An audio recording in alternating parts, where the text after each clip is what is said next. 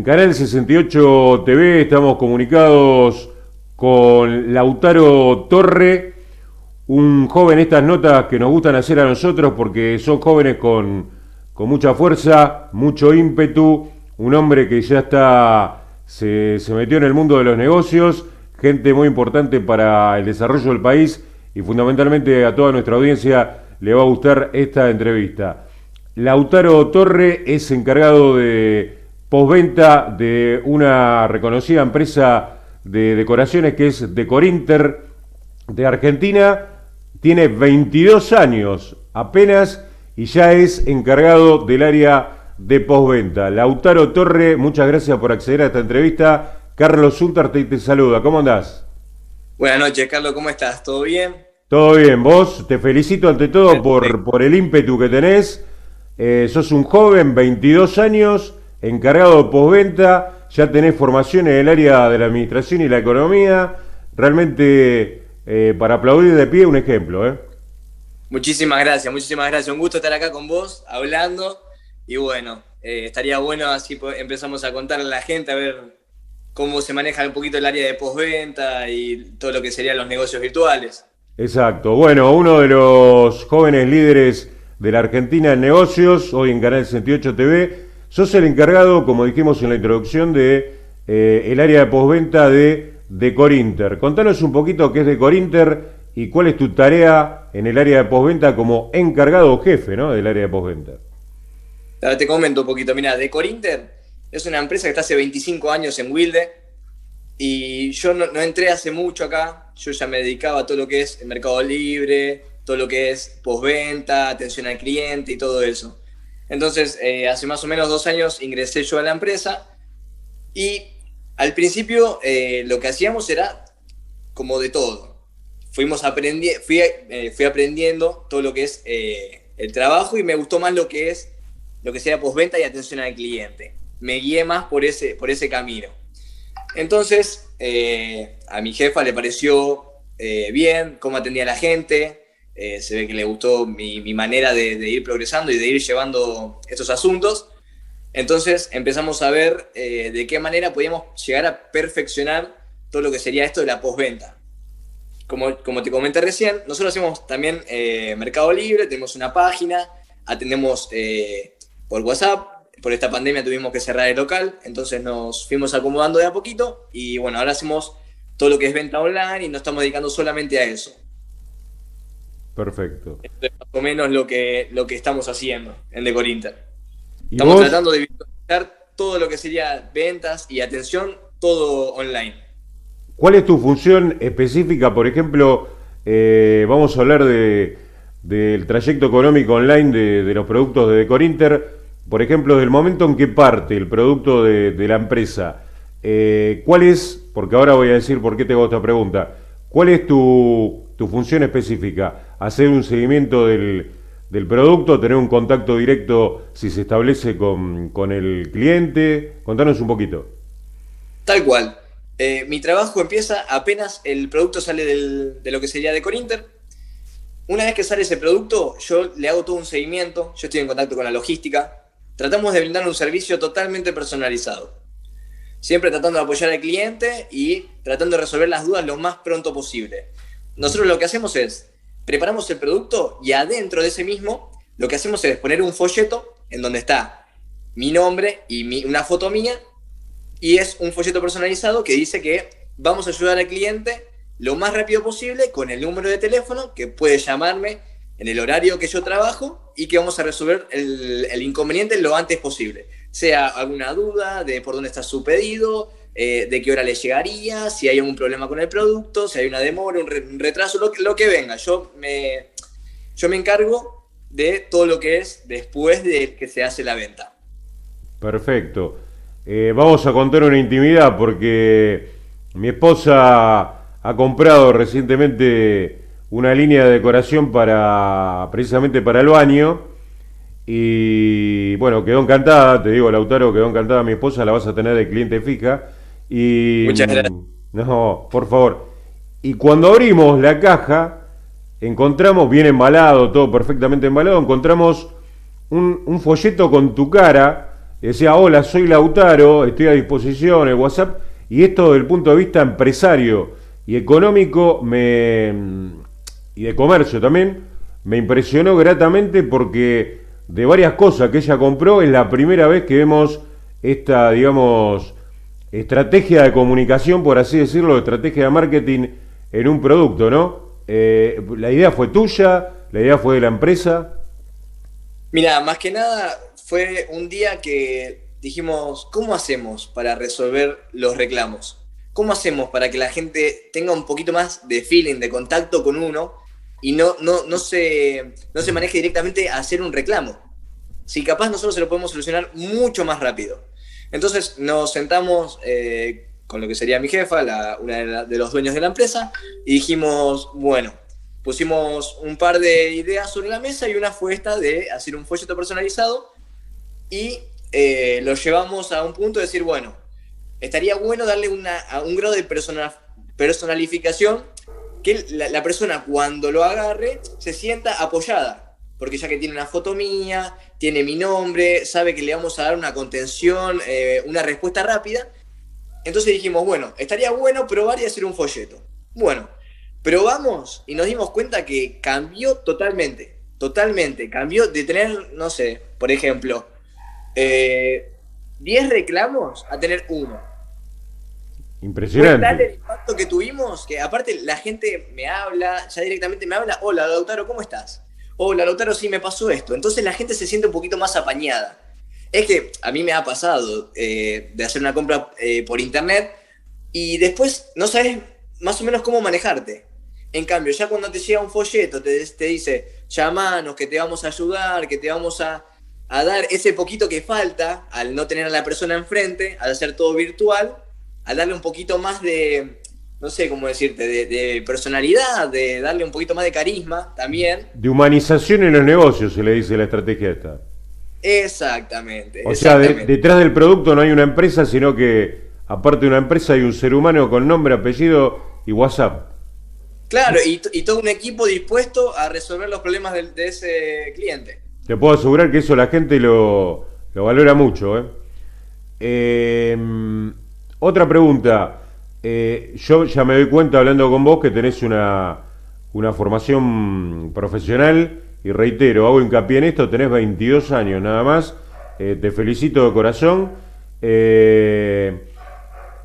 ¿Vos tenés otros proyectos, otros proyectos de emprendimiento aparte de este eh, puesto jerárquico que estás ocupando, reitero, con 22 años nada más, ya tenés una responsabilidad de, una persona de más de 30 años. ¿Qué, proyectos tenés en tu vida en relación a la, empresa, a los negocios? Mire, le comento. Tengo varios planes a futuro. Uno es tratar de, de, brindar y tratar de desarrollarme profesionalmente en la empresa, en el sentido de, porque yo estoy aprendiendo mucho, mucho acá. Estoy aprendiendo mucho, tengo muchas herramientas que me brindan. Eh, tenemos un, buen equipo de trabajo que nos apoyamos uno el otro. Tratamos de, solucionar todo lo más rápido posible y esto me está sirviendo muchísimo. Porque no solamente yo me encargo de lo que es postventa, sino yo me, yo me encargo de ayudar también a otras áreas. Entonces estamos todo el tiempo en contacto, voy aprendiendo cosas nuevas. Es más, ahora estamos con un muchacho que, que trabaja para mercado, que trabaja con Mercado Libre, que se llama Mariano Sirena, que ayuda a las empresas a organizarse. Entonces aprendí muchísimo de él, aprendí mucho a organizar una empresa eh, y me, di cuenta que es lo que quiero ser, lo que, lo que me gusta y el ambiente que yo, me quiero dedicar. Por eso también eh, estoy haciendo un curso de Google, que eso me da herramientas y me permite a, ir desde un comercio eh, que está en la calle o lo que sea, o sin, sin estar ese comercio, o sea, cómo arrancar desde cero a hacer tu comercio. Cómo, eh, eh, desde qué base partir, qué productos elegir, eh, estudiar todo lo que serían los competidores, todo lo que sería mayoristas, todo, cómo analizar parte por parte todo lo que sería el inicio de un comercio. Más o menos, no sé si me expresé bien. Sí, todo lo que es el proceso de cero hasta el punto final de venta. Exacto desde, no saber qué producto elegir hasta cómo digitalizar un comercio. Y la, verdad, esto yo lo quería arrancar eh, cuando empezó la cuarentena, ya que muchos, de, muchos locales de comida, muchos locales de barrio, de gente grande, tuvieron que cerrar porque no le brindaron un cierto apoyo, que de mi parte para mí estuvo mal, eh, brindarle un cierto apoyo a esa gente para que no cierre su local de toda la vida, de 20 años, de 15 años, que se podía haber solucionado un poquito mejor y me, hubiera gustado eh, tener ese, ese poquito de tiempo que me faltaba para poder ayudar a esta gente, ¿no? Yo lo, que quería hacer era eh, lanzarme, freelance se llama, por, por, mi cuenta, para poder ayudar a esta gente. Al principio yo lo que quería eh, hacer era dar una ayuda, no, no iba a cobrar ni nada eh, era dar una ayuda para que esta gente no tenga que cerrar su comercio, de que, le costó toda la vida llegar a, estar donde está. Y, bueno, lamentablemente no se me dio, porque gracias a Dios tuvimos mucho trabajo, mucho trabajo en Decorinter, eh, porque vio que en la cuarentena, mientras mucha gente la estaba pasando mal, dentro de todo tener trabajo y tener bastante, estaba bueno. Entonces, por un lado, no pude dedicarle un poquito más de tiempo a lo que yo quería, pero también pude profesionalizarme un poquito más. Uno cuando está a mayor, cuando hay más, más, trabajo, cuando hay más presiones, cuando uno se desenvuelve mucho mejor y aprende. Entonces también, por un lado, eh, me sirvió un montón y por el otro me faltó un poquitito de tiempo para eh, lograr lo que quería. Pero yo sé que con todas las herramientas que tengo y con las que también me brindan, eh, sé que de acá a un futuro voy a poder hacer lo que me gusta.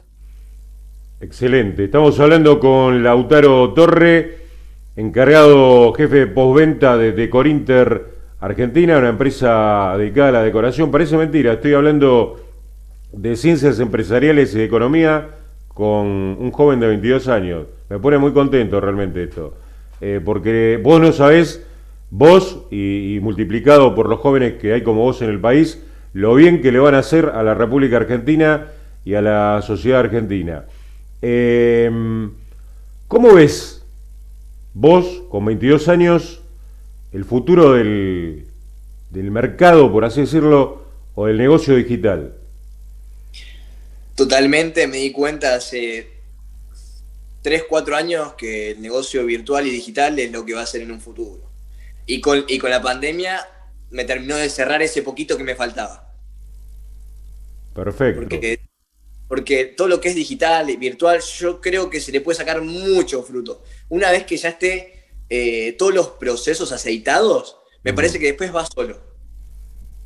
Hoy, por ejemplo, eh, como te digo nosotros, como nos hacemos nosotros, un poquito de, o sea, mucha atención al cliente, eh, no es que se va a hacer solo, ¿no? Pero sino que va a haber otros, en vez de lo, que estamos acostumbrados a un comercio de barrio o a ir a shoppings o todo eso, para mí va a terminar siendo todo digital. Es más, ahora con, esta, con esta pandemia hubo mucha gente que hizo paseo de compras de comercios como si fuera un shopping, pero virtual. Todo 3D, todo.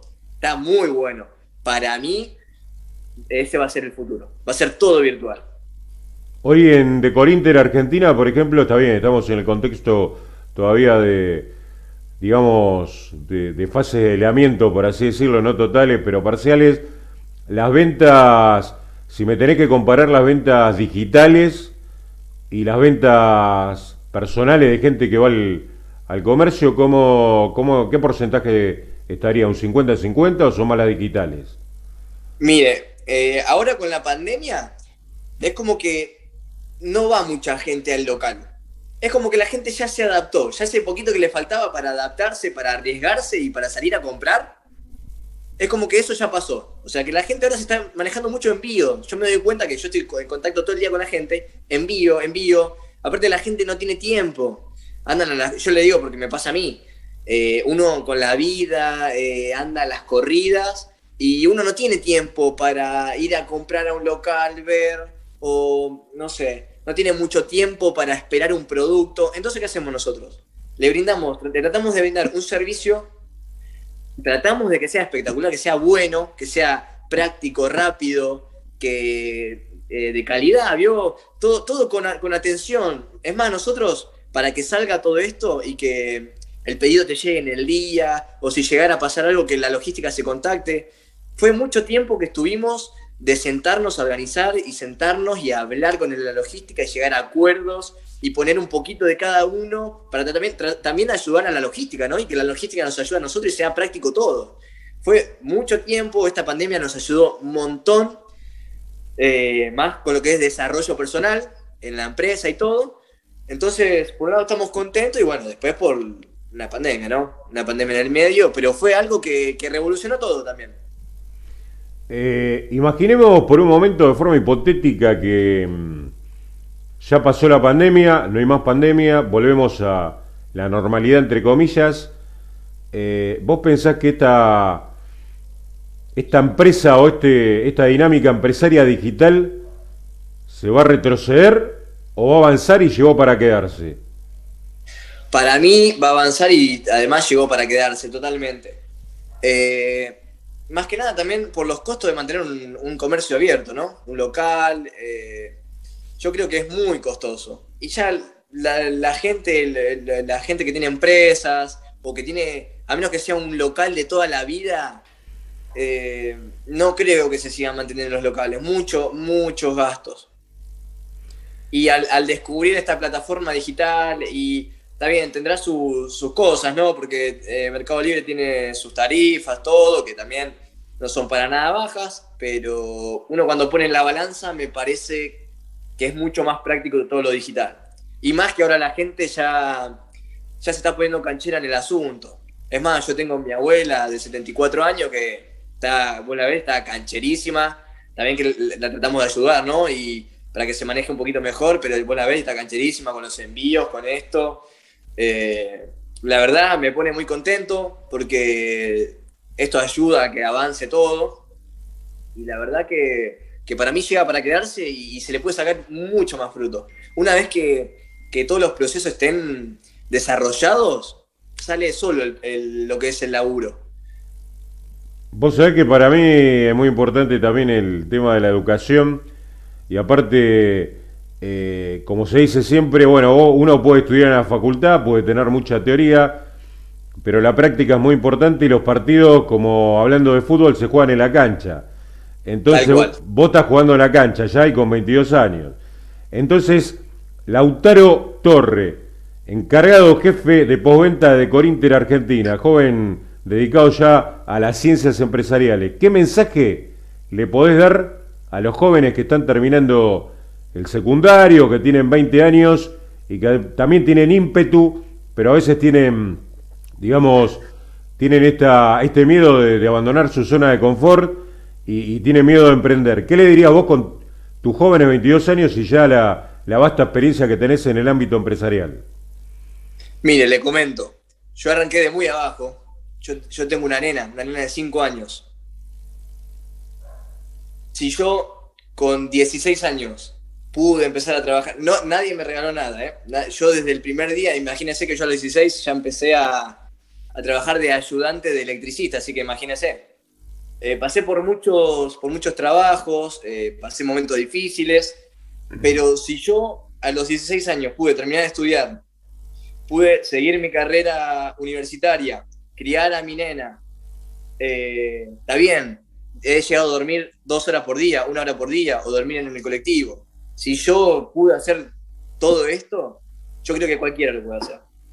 Lo único hay que, hay, primero hay que ser muy agradecido con la gente que da oportunidades. Segundo, hay que saber aprovecharlas. Eh, yo siento que aprendí un montón estos últimos cuatro años. Eh, tuve laburos complicados, he llegado a trabajar 21 horas, así como usted lo escucha, eh, por poca plata. He trabajado en panadería, he trabajado en un montón de lugares. Y la verdad, de todos, de todos me llevo una linda experiencia y aprendo, aprendo mucho, porque yo soy un tipo que, me gusta aprender. Yo soy un tipo que estoy aprendiendo ahora, estoy aprendiendo de, cómo usted me habla, estoy aprendiendo, eh, estoy usando mis conocimientos, todos mis conocimientos que fui aprendiendo desde la secundaria, desde la primaria, desde mi casa. Eh, soy un tipo que, que, le gusta mucho aprender.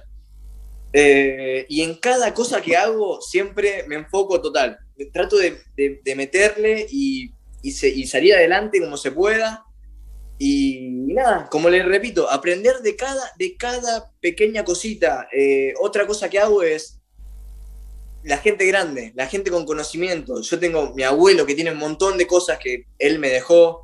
Eh, me encanta hablar con gente grande, que es gente que la tiene clara, que, que ya vivió todo, o con gente que, no sé, de la edad media, 40, 50 años, que también eh, tienen chispa y tienen, eh, no sé, tienen su negocio. Trato de, aprender de todos, un poquito de todo y después tratar de llevarlo a la práctica. Pero bueno, no es fácil para nada, no es fácil para nada y como le digo, sigo aprendiendo día a día, la gente me enseña.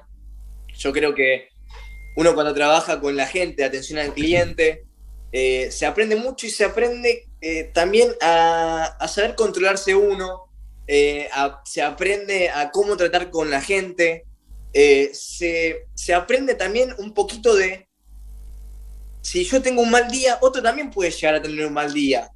Entonces hay que tratar también de poner, capaz uno no se da cuenta, pero con su, su mínima gotita de, no sé, de un poquito de cariño, un poquito de, atención a la gente, le puedes cambiar el día totalmente. Yo me doy cuenta, eh, porque hay gente que me habla de mal modo y cuando yo lo abordo de otra manera es como que cambia totalmente. Eh, o cuando uno lo llama y le diga, sí, como que lo entiende, que se quede tranquilo, que lo, que lo vamos a ayudar, que se quede tranquilo, que nosotros nos encargamos, es como que le saca también el peso a la gente y también se entiende más eh, uno, a ver, con su vida diaria y todo. Entonces, me enseñó mucho, me enseñó mucho, me enseñó a estar más tranquilo en, algunos momentos. Eh, la verdad, estoy muy agradecido con toda la gente que atiendo porque de todos aprendo un poco. O sea. Y eso me ayuda a tratar con todos los demás. O sea, me ayuda en mi vida. Yo puedo tratar, eh, no sé, como con la gente del barrio, como con la gente de mis vecinos, como con cualquier otro cliente. Es como que me enseñaron a cómo abordar bien a una persona. Tenés una alta carga empática que se le dice te pones en el lugar del otro y a partir de ahí negocias emocionalmente y, bueno, la gente finalmente se puede llegar a un diálogo, por así decirlo. Claro, pasa que esto aprendí mucho porque yo llevaba mi angustia, o sea, yo me angustiaba en, el trabajo por todas estas cosas y me las llevaba a mi casa, o sea, me, las llevaba conmigo. Y uno tiene que aprender también a eh, a ver, a diferenciar lo que es del trabajo con también cuando uno sale del mismo. Porque si no, a ver, estás todo el día conectado y está, uno también tiene que relajarse. Si, yo viviría siempre a mí, a las corridas, no, no puedo darle la atención a la gente que se merece. Entonces, fue como que fui aprendiendo a esa angustia que me generaba cuando alguien me trataba mal o algo, tratar de darlo vuelta completamente. Si nuestra, si nuestra conversación empieza mal, no quiero, yo no quiero hacerle sentir a usted que estuvo mal, sino tratar de decirle, bueno, si te molestó como te hablé, te pido disculpas. También eh, viendo si uno abordó mal la conversación, eh, es como que se puede manejar de, otro, de otra manera. De otra manera y, no, te vas a tu casa con toda esa carga del día y con toda esa mala energía de, quizás de una persona que está pasando un día mal.